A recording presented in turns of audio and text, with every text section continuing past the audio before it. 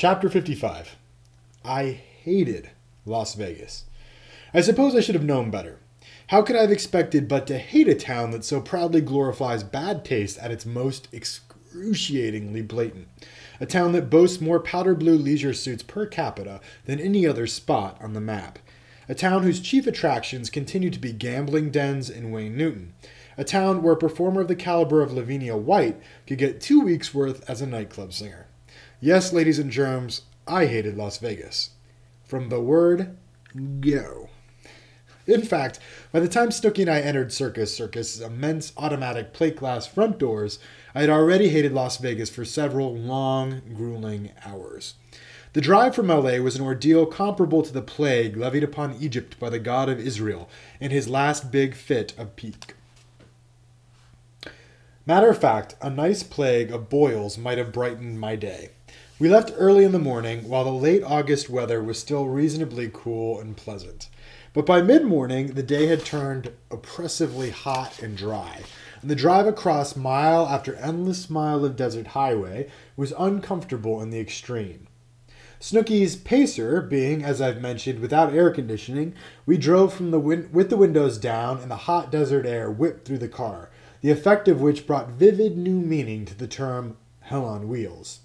Somewhere in the vast wasteland, roughly halfway between Los Angeles and Las Vegas, the pacer overheated. I should have known better, so much for learning from our mistakes. To the tune of some ominous looking billows of steam flowing from underneath the hood of the car. With my vast lack of knowledge concerning the internal combustion engine, I assumed it was smoke. I said my prayers, fully expecting to be blown to kingdom come. Forcing, forcing Snooky to pull over to the side of the highway and douse the car's decrepit radiator with water, and we waited in the blistering heat as the engine cooled.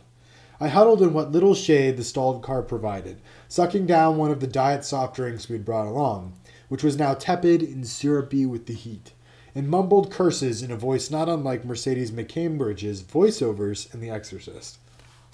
Finally, after what had seemed like hours, we climbed back into the car, which seemed even hotter and stuffier than before, and were, like Willie Nelson before us, on the road again. The pacer overheated twice more before finally transporting us safely, if none the better for heat and travel, into Las Vegas. By the time Snooky pit stopped into a service station just inside the Las Vegas city limits, we were both hot and dirty, and I, for one, was a, was as mean as a Siamese cat right after you've accidentally sucked its tail into the Hoover. I muttered unpleasantries under my breath as Snooky staggered toward the John. When he climbed back into the car, Snooky was chuckling softly to himself. God, I love this place. What's up? I asked. There's a slot machine in the men's room, he reported, and there's a rather rotund middle aged gentleman in a Hawaiian print shirt who told me he'd been there for over an hour and he wasn't leaving until he hit a jackpot. I love this place. I smiled what must have appeared a vain excuse for a smile, thinking I had obviously entered a highly unhealthy venue, and I wondered if it might not be too late to turn back. Welcome to Las Vegas, Snooky said. As we approached the immense imitation wood paneled front desk, our faces were damp with sweat and smudged with dirt, the overall effect being sort of a mud pie with eyes. My clothes were sticking uncomfortable uncomfortably to several key portions of my anatomy and were rapidly grow- growing colder and colder in the sudden near Arctic coolness of the grossly over air conditioned hotel lobby. I felt like a bag lady. The Pacers' catastrophic performance on the highway had landed us well behind schedule, and we were due at a rehearsal and sound check in the lounge within a few minutes. May I help you? A tall, thin, praying mantis of a young man appeared behind the desk. His dark hair was brilliant. Brilliantined? Brillianted? His dark hair was brilliant, brilliantined, brilliantined. Is that a word? Brilliantine back in the style of a 1920s lounge lizard. I don't know what that is. and his upper lip was decorated with the mustache that looked as if he had drawn it out with an eyebrow pencil. From the look of utter distaste on the man's face, I felt assured that Snooks and I looked as scruffy as we felt. He looked as if we were. He looked at us as if we were the Roto Rooter man's boot prints I somehow fought the urge to slap the smug, superior expression off the clerk's face as we signed into our room. Oh, the clerk announced, you have several messages here from a Miss Goldberg. Um, whereupon my ears were assaulted by the familiarly unpleasant voice calling from across the lobby. Johnny, Sydney! I turned to see Marcia Goldman making her trademark double time, baby stepping way across the lobby towards us, waving wildly and smiling like a jack o' lantern. She wore a bright canary yellow sundress in which her voluminous gazongas seemed to take on lives of their own, with high heeled sandals on her tiny feet. A huge straw purse hung in the crook of her elbow.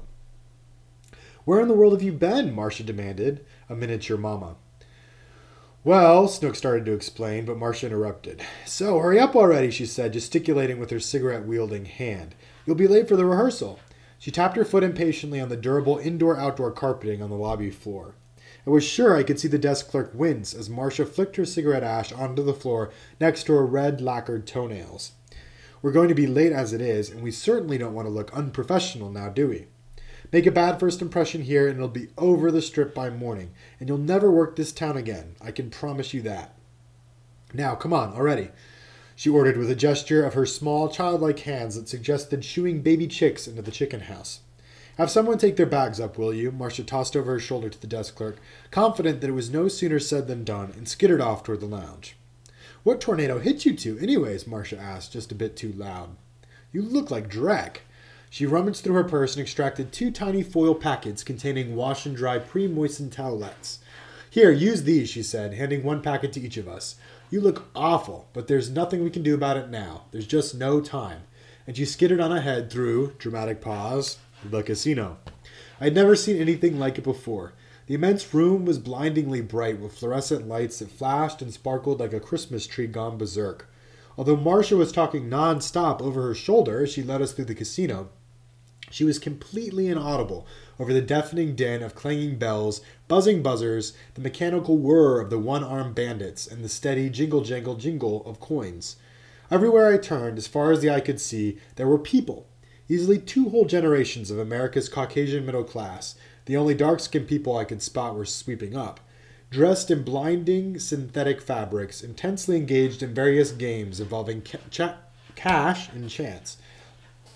Men in baggy flower print shirts with white shoes and matching belts gleefully gathered their money, hard earned over a quarter century working the graveyard shift at Lockheed or pushing Kenmore side by sides at Sears Roebuck, and stacked it onto roulette tables, never to see it again.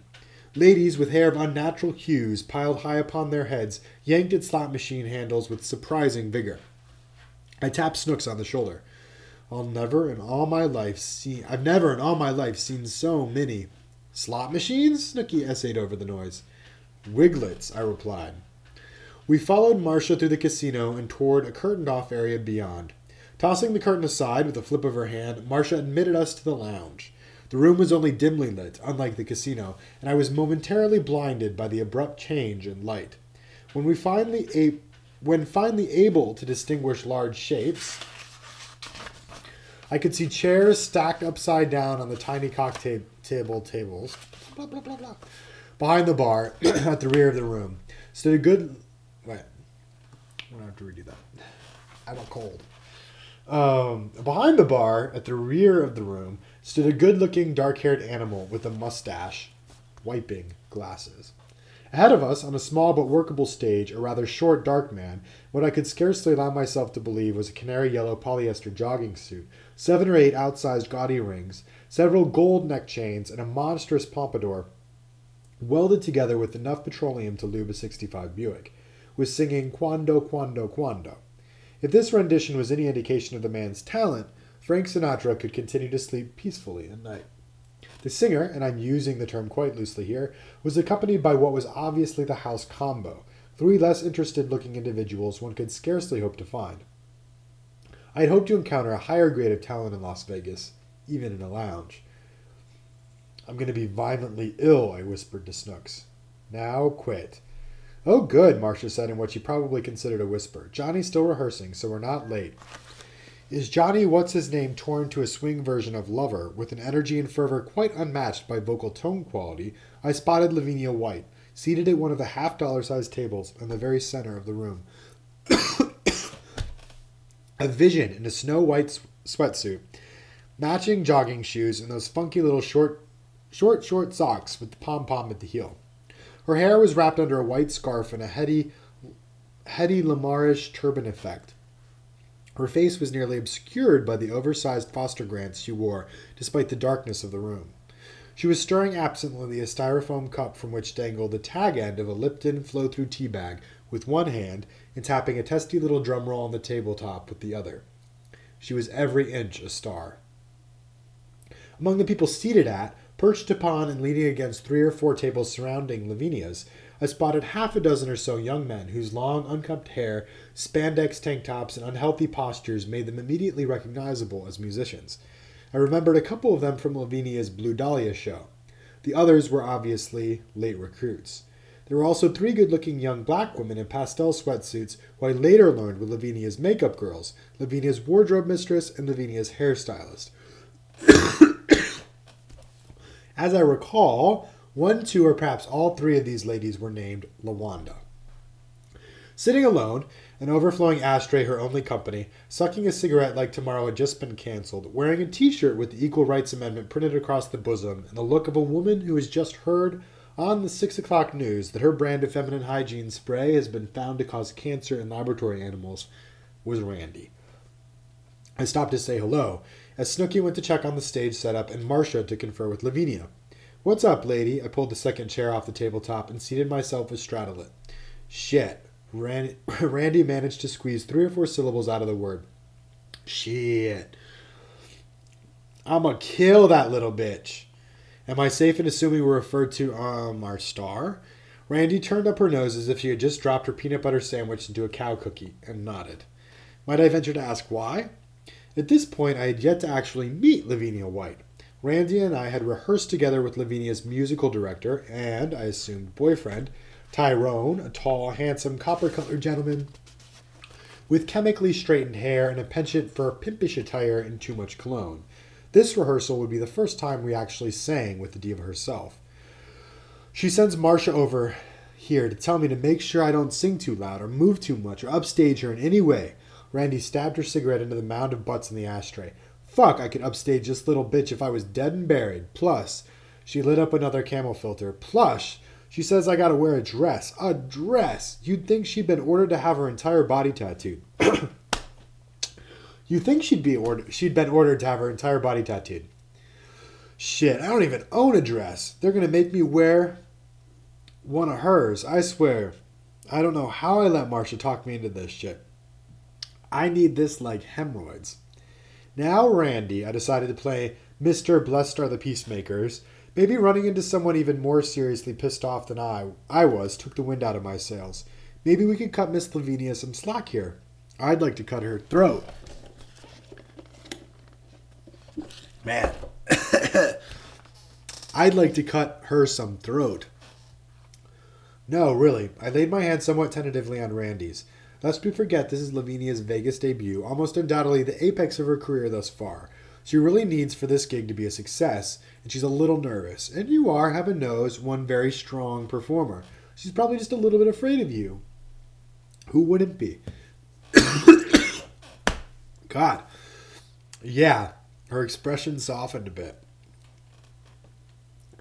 Yeah, let's give the diva a chance. She's probably not such a bad egg. At which point Marcia approached our table. Okay, kids, let's get started, shall we? She leaned in close behind between Randy and me. By the way, you two, Vinny was giving some thought to having the backup sing from the wings. I saw Randy's eyes and lips fly open in tandem. I can only imagine mine did the same. From the wings? Randy tried to whisper but did not quite succeed. Off stage, I attempted an air of cool detachment and fa- failed miserably. Uh huh. Marcia pretended everything was just hunky dory. She wasn't fooling anybody. Just a thought. Marcia called over her shoulder as she rushed toward the stage. Just something to think about. Randy shot me a see what I mean look. Forget what I said, I whispered. This is war. As it turned out, Randy and I were not relegated to the wings. We were, however, placed as far upstage of the diva herself as was humanly possible while still remaining on stage. One would have thought we were carrying at least one highly contagious disease apiece. Randy and I decided during the rehearsal to do everything in our combined power to blow Miss Vinnie right off the stage. Hell hath no fury like a pissed off performer. We sang at the very top of our capacity, which, for both of us, was considerable. When the sound man all but turned off our mics, we improvised some rather distracting choreography during the ballads.